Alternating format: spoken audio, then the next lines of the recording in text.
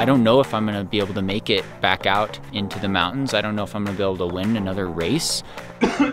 to get this health complication that's life threatening, it made me question that, you know, maybe my career's over. Maybe this gift of running is, is getting stripped away from me. If I'm not able to get back into competitive racing, I'd really love to be involved in mountain ultra trail running for the rest of my life in some capacity. Sage would have to find a way to do something with this energy.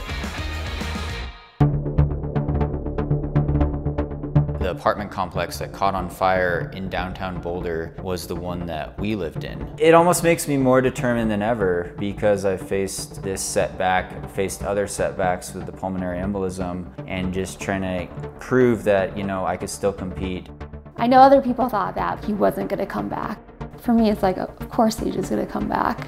I've been building up my mileage, putting in the vertical, and feeling a lot stronger, so I think it's time to really let it rip and test that fitness in an all-out effort. I selected the Canyons 100K as my first competitive ultramarathon race back. Honestly, just being here feels like a win to me. At the same time, like I want to be competitive again. I want to get back to where I was at before the pulmonary embolism, before the fire. Since it's been over two years since I last toed the starting line, I honestly have no idea how it's gonna go, but I'm gonna go out there and give it my best.